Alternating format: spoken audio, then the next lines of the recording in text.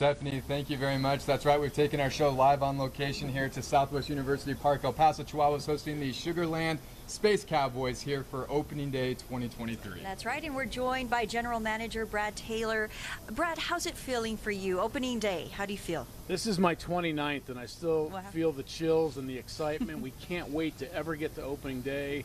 It's like the birth of spring. The season's Yeah. getting underway, and it's just great to walk into this building that's now 10 years old and it still pops. The grass is really green. The new video boards fired up. It just looks great, and it's just exciting. Brad, there's a lot that goes into a AAA season 150 games, if I'm not mistaken. But it always just seems like opening day holds a special significance when it comes to baseball. What do you guys do to make sure that uh, you know that it is special and that significance does ring true here at Southwest University Park? Yeah, you're right. Opening day for us is also like being reunited with family. Like a lot of our season seat holders we haven't seen for five or six months, right? Our game day staff, you know, they get welcomed back in here, and it's kind of like a reunion. So it's kind of a rebirth, and you get energized to see everybody. You have this common thing that we all love baseball and we love sports, uh, and it's what unites us. You know, that's the whole reason this ballpark is built. It was meant to be a community center, and it's proven to be that.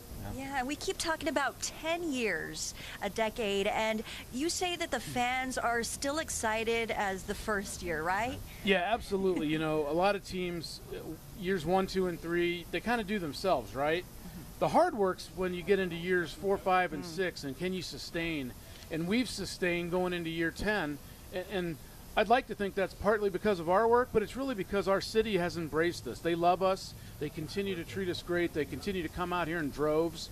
They continue to buy the merchandise and wear it when they travel. I mean, we're their team, and we're really proud to be that. Real quick, Brad, tell me about this year's team. We've talked about how spoiled we've been here in El Paso with some great baseball. Uh, fifth division title, of course, last year.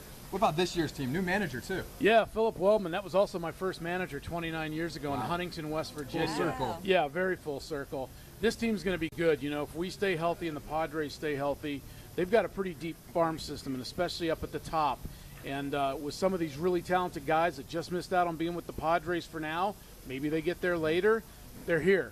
Yeah. So you know, we've talked about this for a long time. The 750 best players in the world are in the major leagues. The next 750 best players in the world are in AAA, and you're going to see that right here in your town with the Chihuahuas. Awesome. We're so lucky. Thank you, Brad, for joining us. Yeah, thank you for being here. Happy opening day. Happy opening day. is right. Well, coming up, we are going to hear from the manager of the El Paso Chihuahuas, new manager, Phillip Wellman. That's coming up, and what we can expect here at the downtown ballpark all summer long. Stay with us.